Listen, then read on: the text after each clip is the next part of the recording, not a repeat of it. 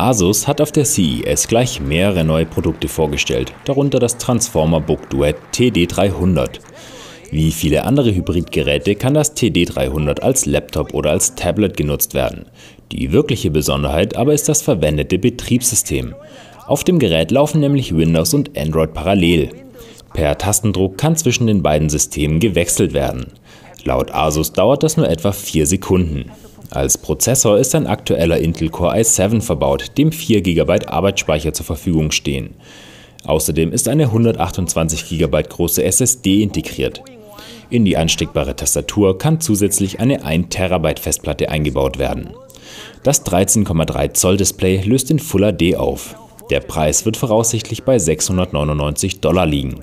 Außerdem soll eine preisgünstigere Version mit geringerer Auflösung für 599 Dollar herauskommen. Mit dem Padphone Mini stellte Asus ein weiteres Hybridgerät vor. Wie bei den Vorgängermodellen handelt es sich dabei um ein Smartphone, das in ein Tablet-Dock geschoben werden kann, um mit einem größeren Bildschirm zu arbeiten. Allerdings hat Asus im Vergleich zu den Vorgängern Größe und technische Ausstattung reduziert. Das Smartphone misst nun 4 anstatt 5 Zoll, die Tablet-Station ist von 10,1 auf 7 Zoll geschrumpft.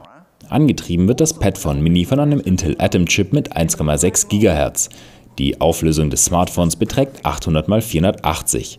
Das Tablet löst mit 1280 x 800 Pixeln auf. Der Preis soll bei 249 Dollar liegen. Außerdem stellte Asus drei Smartphones seiner neuen Zenfone-Reihe vor. Die Modelle Zenfone 4, 5 und 6, wobei die Zahl für die Display-Diagonale steht, werden jeweils von einem Intel Atom-Prozessor angetrieben.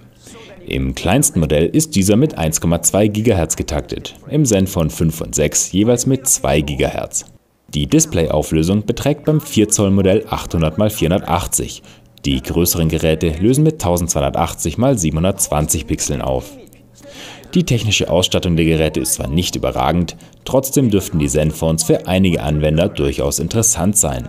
Das Design ist mit den vielen erhältlichen Farben recht schick, ein Update auf die neueste Android-Version 4.4 ist bereits angekündigt und Asus bietet die Zenphones zu einem sehr günstigen Preis an.